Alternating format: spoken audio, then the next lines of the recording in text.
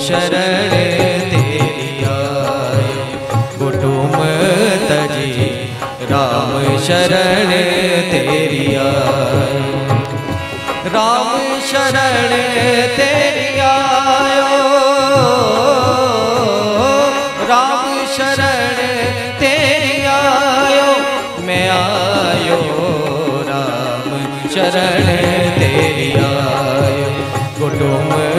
तजी राम शरण तेरी आयो कुटुम तजी, राम शरण तेरी जिनके चरणों से पापों का नाश करने वाली पवित्र गंगा का उद्गम होता है, आज आज मैं उन्हीं चरणों के दर्शन करूँगा, अपने नेत्रों के जल से अर्ध चढ़ाऊँगा, परंतु परंतु क्या मेरे प्रभु, मुझे स्वीकार करेंगे, अपनी शरण में लेंगे? बस बस यही एक चिंता बार बार सताई जाती है। राम।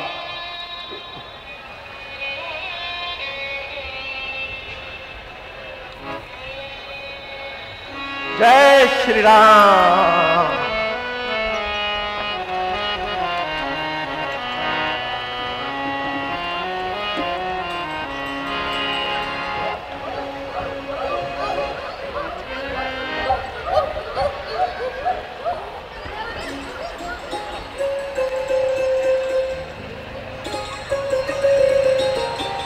बैठो सब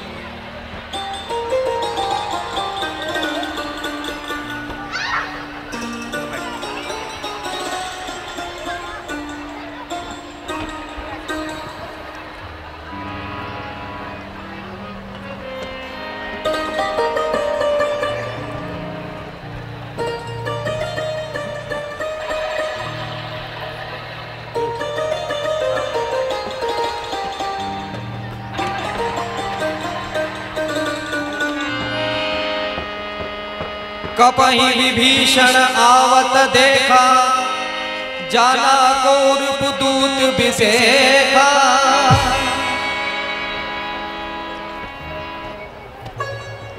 महाराज महाराज एक स्वांग देखने में आया है। स्वांग? कैसा स्वांग? वो है ना प्यारी का भाई विभीषण। वो भक्ति का स्वांग रचकर इधर ही चला आ रहा है प्रभु। क्या कहा? भक्ति का स्वांग रचा करके आ रहा है? हे रघुनाथ जी अभी अभी पता चला है कि बैरी का भाई विभीषण हमारी सेना का भेद लेने के लिए इधर ही चला आ रहा है। हे मित्र तुम्हारी क्या राय है? प्रभु मेरे विचार से तो उसको बाँध के रखना चाहिए। परंतु मेरा विचार भिन्न है। जो धर्म योद्धा हैं, रण में कर तव चुकाते हैं। बैरी से कहकर बतलाकर यमपुर पहुंचाते हैं। आ रहा भेद लेने को यदि फ़िक्र नहीं। कुछ यहाँ भेद की नीति नहीं। कुछ यहाँ का ज़िक्र नहीं। धोखे से लड़ने आया हो। है? श्री का एक उसके संघार को काफ़ी है। फिर क्यों छेड़े वानर इसको? संभव है मिलने आया हो। लगता है के साथ साथ संदेश संधि का लाया हो। अथवा क्या पास हमारे लाया हो? या रावण से कुछ बिगड़ नाथी होकर आया हो? हे सखा तुमने अच्छी नीति विचारी है परंतु मेरा प्रण शरण में आए हुए हर मनुष्य के भय को हरना है। मैं उसे अपनाकर रखूँगा लक्ष्मण जैसा समझूँगा। हनुमान जी प्रभु! आप जाइए और उन्हें आदर पूर्वक ले आइए। जैसी आपकी आज्ञा भगवान।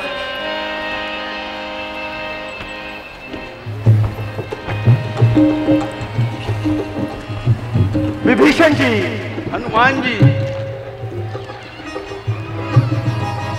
विभीषण जी आप आप यहाँ रामदल में कैसे? हनुमान जी मेरे भाई रावण ने मुझे लात मारकर लंका से देश निकाला दे दिया है। और अब अब मैं प्रभु की शरण में आया हूँ। परंतु एक ही दुविधा मुझे सताई जाती है कि प्रभु मुझे अपनी शरण में लेंगे मुझ अधम पे कृपा करेंगे। विभीषण जी प्रभु तो बड़े दयालु हैं। वो सबको उन्हें तपराते हैं। जो जन उनकी शरणागत हो हृदय से उसे लगाते हैं। संभव है संभव है वो दिन शीघ्र आए जब भाग्य इस तरह चमका हो सर पर हो राम विभीषण के चरणों में सारी लंका हो। आइए विभीषण जी रामादल में आपका स्वागत है। आइए।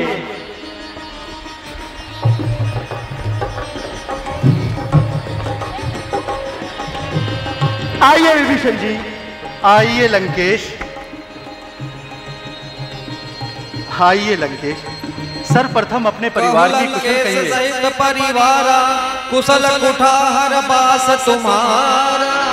हे नाथ निश्चर कुल में पैदा होकर अब तलक बहुत भरमाया हूँ।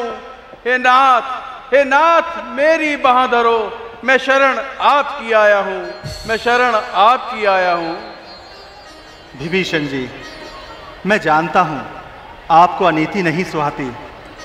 आप उन दुष्टों के संग कैसे निवास करते हैं? हनुमान जी, प्रभु, आप जाइए और समुद्र जल ले आइए। मैं इनका रास तिलक करके इन्हें लंकेश बनाऊँगा। जैसी आपकी आज्ञा, भगवान। जय श्री राम लंकेश, हे नाथ, ये आप क्या कह रहे हैं? आप इन्हें लंकेश बनाएँगे। कल अगर रावण घबराकर सीता जी को लेकर आपकी शरण में आ गया तो प्रभु, आपका ये वचन असत्य हो जाएगा। सुग्रीव जी, रघुकुल रीत सदा चली आई। प्राण जाए, पर वचन न जाए। यदि रावण जानकी को लेकर हमारी शरण में आ भी गया तो मैं भरत के साथ जाकर वनों में वास करूँगा और अयोध्या का सारा राज्य मैं रावण को दे दूँगा। आइए विभीषण जी।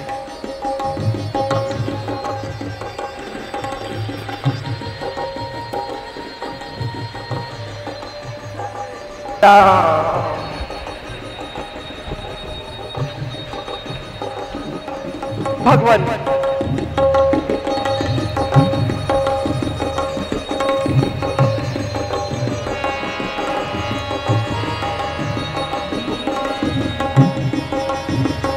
बोलिए महाराज विभीषण रामचंद्र की